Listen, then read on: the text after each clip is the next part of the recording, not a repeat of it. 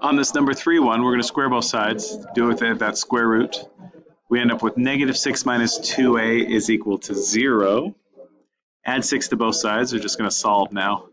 Negative 2a equals 6. Divide by negative 2.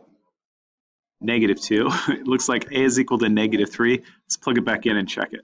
Square root of negative 6 minus 2 times negative 3. Does that in fact equal 0? This would be negative 6 plus 6, which is 0. Checks out. That one works.